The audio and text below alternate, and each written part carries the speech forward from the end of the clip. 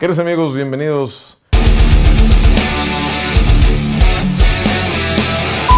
Básicamente venimos de señoras cotorras, ¿no? Exactamente, estamos ya de periqueras, de piernita, de piernita cruzada, De ya un, un, un acomodo marisco, porque el día de hoy solamente vamos a hacer unas señoras cotorras, ¿verdad, perrazo? Siempre estamos cotorreando y siempre estamos hablando que sí que perras y que la P de la madre. Es momento de darle un giro más pet friendly a este canal. perras. Exacto, le vamos a dar un, un giro pet friendly y es por eso que yo vengo a hablarles, venimos a hablarles. Porque es lo que somos, un canal pet friendly. Somos un canal pet friendly.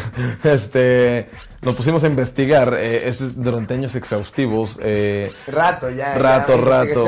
Sí, de ocultas. horas, noches. Llegamos a la conclusión de que, bueno, ya les hemos enseñado eh, los tipos de cachorros, ¿no? Este, que cuando nacen, por ejemplo, les platicamos ya una vez del meco de oro, ¿no? El meco de oro, el les meco de platicamos oro. que es, este, pues por ahí está el video para que vayan y se chuten la explicación. El meco de oro es nada más cuando un señor avienta, este, pues un, un regalo hacia el mundo, ¿no? De, desde lo más profundo de su incubación.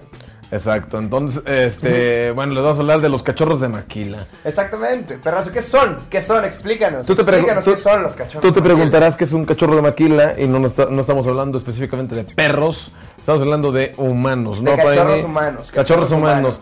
Esto, dícese, eh, vamos a poner eh, un ejemplo. Cuando se casa una persona, una persona guapa, ¿no? Una Co- persona todo, com- todo comienza con, con buenos genes. buenos genes, buenos parecidos. genes. Bien parecido, buen cuerpo, la señora cuerpada y el muchacho güero, ojo, oj- ojiverde, porque ojiazul ya está muy choteado. Eso está muy chuteado. No, pero por lo general solamente agraciado con agraciada, por lo general nos da este pues un cachorro de maquila, que la maquila, entiéndase, que es llevado a cabo de unir los genes de, de punto A a punto E para poder confabular un nuevo cachorro, ¿no? Exacto, y regularmente los cachorros de maquil, los cachorros de maquil los hacen con un bien, ¿no? Escogen, eh, lo que pasa con los perros, escogen al mejor cachorro y a la mejor cachorra Exactamente. para que tengan un cachorro de maquila, Exactamente. justamente. O sea, si, Eso- si pones a, a un cachorro que se ve precioso con una cachorra que se ve no hay preciosa, pierde, no hay pierde. Bueno, hay probabilidades de que salga por ahí soso, pero, eh, pero va a salir bien. Y eso pasa en los humanos. eh,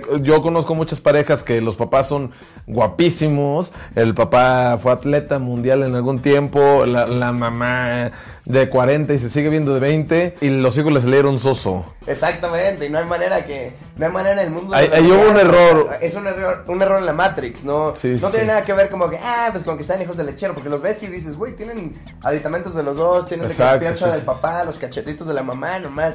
Es una perra mala combinación. Es ¿verdad? una mala combinación, exactamente, pero también conocemos casos eh, en los que hacen un caso de éxito, ¿no? Por ejemplo, eh, Angelina Jolie y nuestro amigo Brad Pitt. ¿Qué, qué- qué ibas a esperar? ¿Qué te esperaba? ¿Qué No te esperaba? manera, no te pases de verga, güey. No podemos poner fotos de los morros porque, pues bueno, por ahí nos dijeron que pet friendly. pet friendly. Viendo la foto de, de, de los, de los papás, De, de Brad Pitt, güey. Uno, pues es, es muy sencillo sumar uno más uno y que nos de dos, ¿no? Estos güeyes, adopta- aparte que adoptaron, pues ahí unos morros, tienen una morrita ellos que, que está de maquila, es una cachorrita de maquila. Ahorita ya debe tener, no sé, como unos 7, 8 años, pero cuando estaba bebecita decías, ah, la madre la hicieron a mano, cabrón. y así hay muchos, ¿no? Y también existe el caso cuando el papá, pues no es tan agraciado, vaya, pero, pero la mamá, la mamá es, la, la ves y dices, bueno, pues se ve que pueden tener unos hijos. Como el, cono- el conocido lema, ve y mejora la raza. Que, que- que si tú estás soso, buscas, buscas a alguien mejor parecido que tú claro. para tratar de, de que su- lo bueno de ella se quede y, y lo, lo poquito bueno que tengas tú para aportar a la mesa se, que, se trate de quedar también. ¿Qué tal que tienes un buen un buen arco de, de ojo o algo así, ¿no? Que tienes Algo. una bonita cualidad que combinado con toda la demás cara de la, de la esposa o, o de la otra persona hagan un bebé, ¿no? Por ejemplo, ahí está eh, Eugenio Derbez Paini. Eh, tuvo, No esperas, no esperas que vaya a tener Mira. una mamacita de hija. no sé quién es la mamá de, de, de, de Aislinn. Aislinn es la... El, La Gaby Michelle, Gaby Michelle, que también Ah. es agraciadísima. Ah, graciadísima. Bueno, pero ahí está, es lo que pasa. Pues la señora, tú sabes que por lo menos va a estar acuerpada. Si es niña, va a estar acuerpada. Pero va qué, a tener buenos genes, va a tener buenos Ajá, genes. pero ¿qué pasó? De repente, pues el papá sí hizo lo mejor que se pudo, pero como tiene facciones muy marcadas, ahí le va toda la carátula, Eh, toda la, eh, toda la y a veces Facebook. dices, órale, arre, pues jalo, jalo, pero...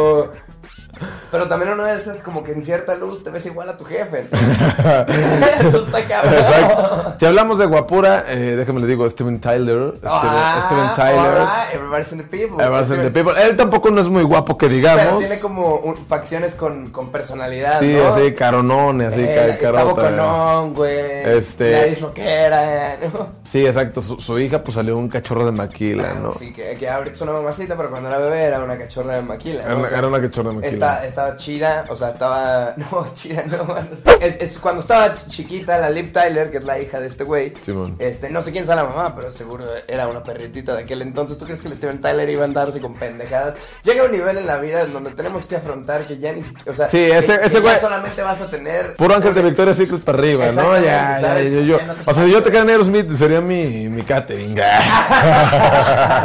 Sí, y los rockeros tienen buenos genes, güey. Kid Richard, que se avienta también, tiene como tres bombones, la fábrica de bombones. Pero La fábrica de bombones. Hay familias que son fábricas de bombones. Sí, exacto. Eh, yo conozco muchas familias, por ejemplo, preparatoria, que ya están más desarrollados los genes. Pasa que conoces, por decir, a, a las pues, que apellidan como Paini. Como Álvarez del Castillo, o algo Álvarez así, que, del Castillo. que todas son primas. y- Exacto, y no. Por lo general, toda la familia se compone. Las perras de apellido son especialistas en, en escupir al mundo cachorros de maquila. Eh, exacto. E- ellas ya, ya vienen de, de una descendencia en donde todos están preciosos, entonces Sí. ya el margen de error va siendo cada vez Exacto, menos. entonces- O sea, menos narices culeras en la casa y equivale a menos posibilidad de que tus hijos salgan con un perfil así, cabrón. Exacto, entonces, entonces- tienes que estar tú también calculando los riesgos, tienes que ser honesto contigo mismo de ver qué cualidades son las que no quisieras aportar y buscar una persona porque de seguro sí funciona la genética. Mira, no, no sabemos nada, nada, esto está investigado, Pero pero, todos- hace mucha lógica. Todos queremos mejorar la raza, por ahí dirían. En pocas palabras, todos queremos mejorar la raza. Todos se ven como el Brad Pitt, no te pases de no, verga, no, no. Na- no habría pedos, güey. Sí, no, o sea, todos queremos que pues salgan lo mejor posible. Este. Hagan su mejor esfuerzo por mejorar la raza. Entonces, si quieres tener una fábrica de bombones, una fábrica de bombones, pues échale ganas. de ¿no? cachorros de maquila. Échale ganas, sí, exacto. Tienes que Tienes que buscar. ir moviendo tus piezas. Exactamente. Primeramente ser honesto con uno mismo y decir, estas son las cosas y las situaciones en las que yo no me quisiera ver involucrado en el futuro. Imagínate que tienes como, este, no sé, güey, una... un- algo raro en la ceja y de repente nace, nace tu bebé y está bonito y todo, pero tiene la misma ceja que te causa conflicto a ti. Sazón no califica como carchorro maquila tampoco. No, no, no. No, sí, o sea, es de, de maquila. Lo intentamos. Lo intenta- hicimos lo posible. Hicimos ¿no? lo posible. Dejamos el alma en la cancha. Exacto, Salimos por los tres dejamos. puntos, lo intentamos. Sí, o sea, sí. yo quiero que me comentes aquí abajo, eh, que nos comentes aquí abajo si... ¿Cuáles cachorros de, de, maquila son así? Unos inesperados. Exacto. Porque imagínate, yo no me esperaría, no conozco, pero imagínate, de lado Ramones, ¿tú te esperarías un, un cachorro maquila? Eh, no, Tienen facciones muy específicas. Sí, muy específicas. La- la- o sea, de que tendrían cabello terso y güeritas, sí lo creo. pero su, toda su carátula, igual, toda, toda la Facebook. pero eso no quiere decir que esté mal, ¿no? Sí, exactamente. Entonces, o sea, pues sí, o sea, uno no puede. El comal saca lo que tiene la olla, o como dice. Entonces no, no, no se puede. Pónganse un condón, pónganse un condón. Ahorita nadie quiere cachorros, pónganse condón, perros. Y les recordamos, Les recordamos que este gente de Morelia vamos a estar este 20 de abril visitándolos ahí en el Cactus Bar. exactamente a las 5 empieza súper puntual, porque ya tenemos que desalojar y mandar a chingar a su madre a todos como a las 8 y media, 9.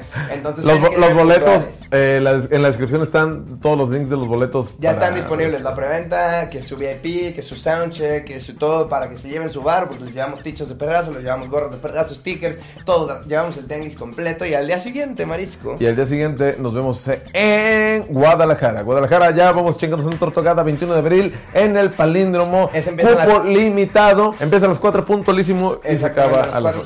Acaba a las 8 también ese, entonces, para que lleguen vamos a estar estrenando Me Sentí, Ulises, llevando a Renata. Perrazo, compren en perrazo. Explícame cómo chingar.